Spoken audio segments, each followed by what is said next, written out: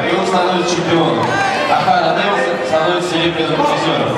На тайну ВРП приглашаются юноши 12 лет до 40